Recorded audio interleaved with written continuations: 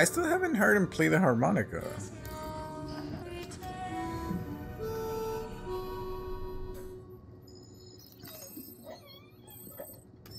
Oh, this.